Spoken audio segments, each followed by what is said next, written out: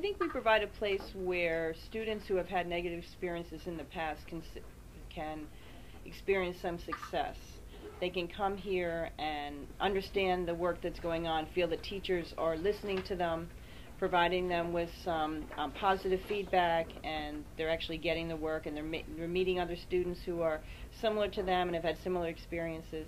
I think what Fairhill does well is that Fairhill gives students a second chance. And this program is really the only program that I know of where the students want to be here. Um, we have a lot of strict rules, um, but there's also a lot of support at Fairhill. So a kid that comes to Fairhill really doesn't have any excuse for not succeeding with all the support that we provide here. When I meet someone and they ask me what is what it is that I do, and I tell them, the first thing out of their mouth is, "Oh my God, how do you do it?" It's not that hard. Um, just because this is an alternative high school, a second chance school, whatever you want to call it, um, and it's true. Most of our students have been kicked out of other schools, but like I said, the problem at those other schools is the size of the school. Um, there's too many kids. The buildings are huge, so there's no supervision. I think what helps us here at Fairhill is one, we have very strict policies.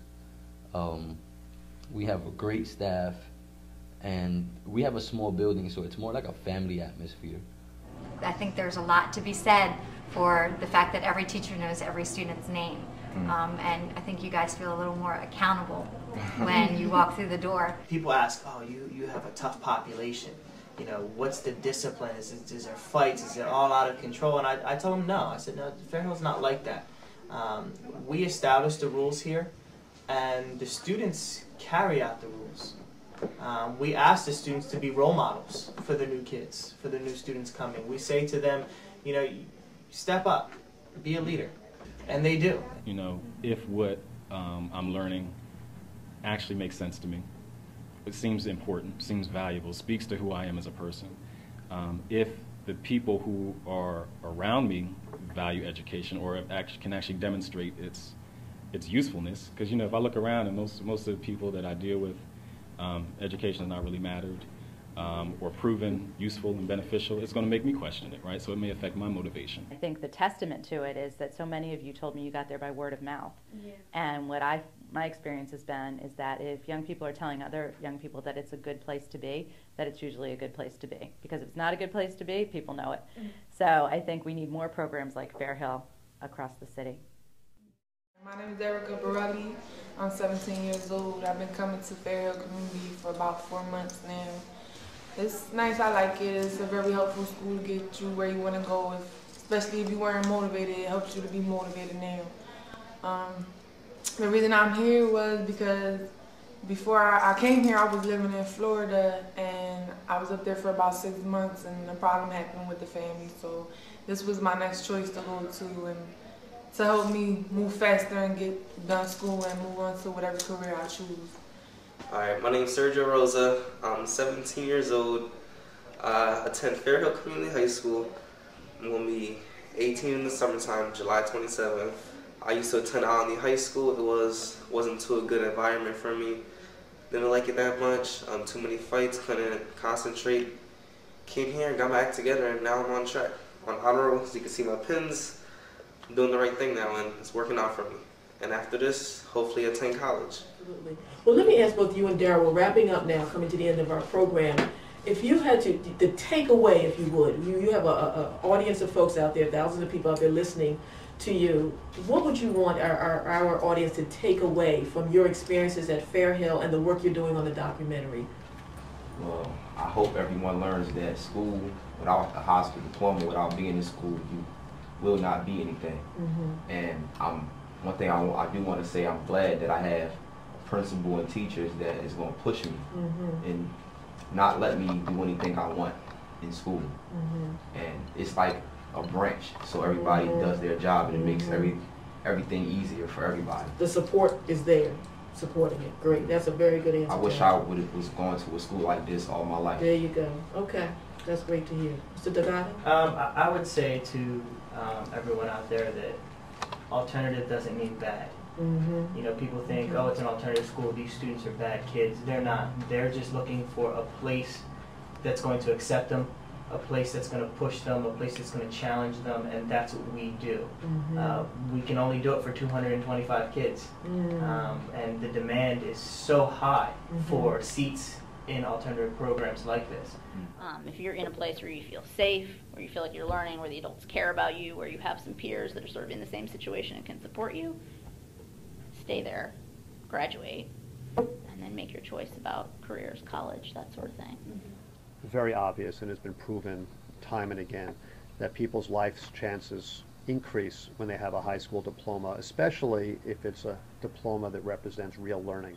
In order for school reform or in order for schools to be really effective, they need to be changed, you know, in, in many ways that um, allow young people and students to really benefit from the exposure. Because most people have access to, to public education, right?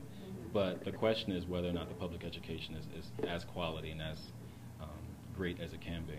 We need teachers and administrators who want kids to be in school and who also seriously believe in the ability of every student to learn and to make it in this world, and that they should be a partner in that effort. Uh, when that happens, kids flourish, and the schools flourish.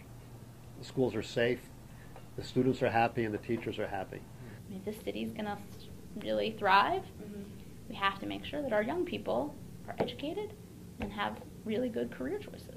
I think one of the things we need to do is to make sure that more elected officials know about uh, places like Fairhill and others. I think that, you know, there's, there's the what anyone might call the standard school setting, and then there's the alternative educational uh, facility uh, or or school. And I'm not sure that that many people know uh, what goes on uh, at those places. I think you know the old model was uh, you know almost a uh, reform school or you know some kind of um, uh, punishment uh, kind of place. There are some good things going on uh, at uh, at these schools. Young person has decided to try to turn their life around. We need to give them more support, not less. And so I think uh, one of the things is, of course, the DVD that you're doing, uh, which hopefully more people will see, especially elected officials, so that they can better understand what goes on uh, at these schools and that there is more support that is needed. There has to be a commitment to solving the problem of dropouts. And there needs to be a commitment to fund it, and there needs to be a commitment to continue to fund it, not just start things and then back away from them afterwards. Um, but the biggest thing is to keep attention on the issue and to keep trying to find the resources to expand the schools. I think the two greatest things that we have to accomplish over the next uh, few years is dramatically reducing the high school dropout rate and significantly increasing the college degree attainment rate. As I mentioned earlier, 45% of our young people dropping out of high school, only 18% of our city residents having a four-year bachelor's degree. Those two numbers have to change, and they tell, as far as I'm concerned, most of the story of the city of Philadelphia. If we dramatically change those two numbers, we will turn around the fortune of this city and change lives.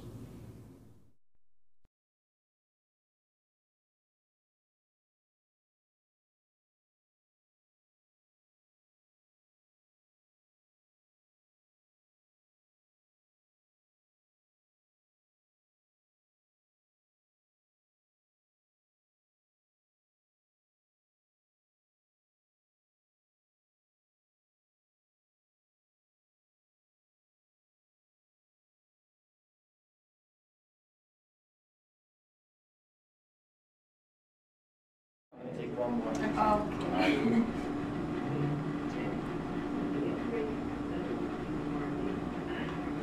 That's excellent.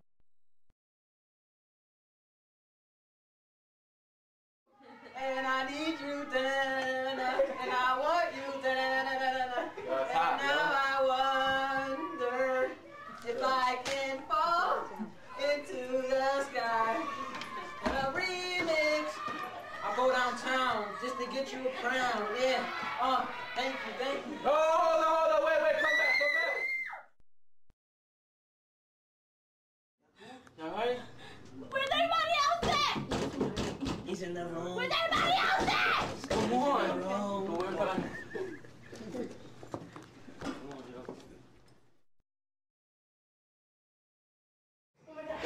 Come on. Come on. Come on, stay. I don't see nobody. Shh. Come on. Sure. Come on. Yeah, yeah. Safe in here. Sure, man. It's safe in here. Oh my god! Oh, Oh my god.